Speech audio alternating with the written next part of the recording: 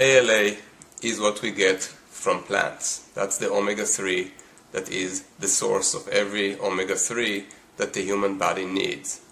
If we get ALA, alpha-linolenic acid, we also get the other omega-3 fatty acids, the EPA and the DHA, which are longer and have higher number of double bonds, which means that they are even more unstable. That is why it's important we don't have too much of EPA and DHA in the wrong places in the body where they can go rancid. If we get EPA and DHA in the right places in the body where the body wants to manufacture them from ALA, then we are more safe because we don't suffer from the instability and rancidity that could occur with long-chain omega-3 fatty acids like EPA and DHA, which are, as I said, much more unstable. The body knows when to make EPA and DHA from ALA.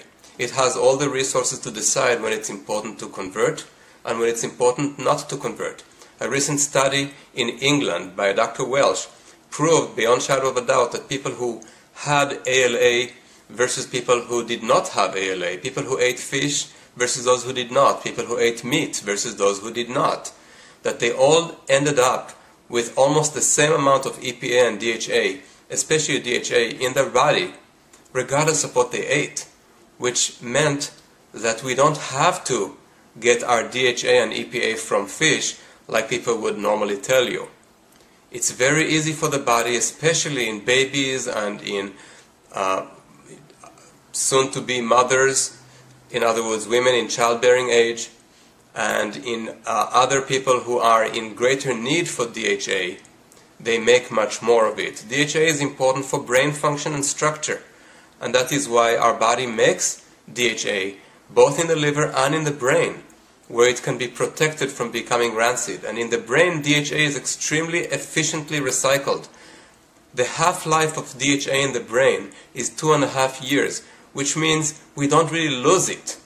It stays there. And we, we don't need much to replace it. No more than 3.8 milligrams per day on average according to scientific research.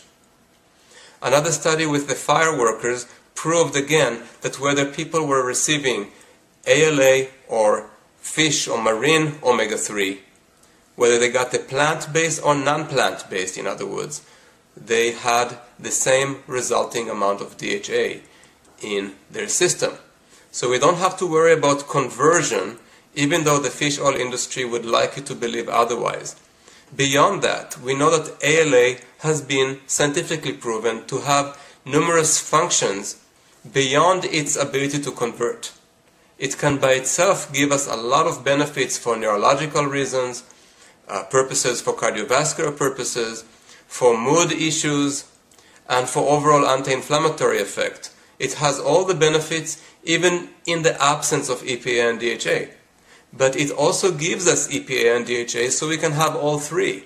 Whereas if you only get fish oil, you don't get enough ALA. You get only EPA and DHA, which can be very rancid very unstable, but more importantly, EPA by itself, even though it is important and our body manufactured it to reduce inflammation, if we get even a little too much of it, we suffer the consequences of depressed natural killer cell activity. Your immune system needs those natural killer cells to fight cancer and viral infection and other infectious organisms. And when you have too much EPA, unfortunately, you lose about 50% of your natural killer cells activity according to scientific research. That is why we want to maximize ALA, the plant-based omega-3 fatty acid that is stable, while allowing the body to manufacture the EPA when it really needs it to fight inflammation and to manufacture as much DHA as it needs for functioning of cell membranes, especially in the brain.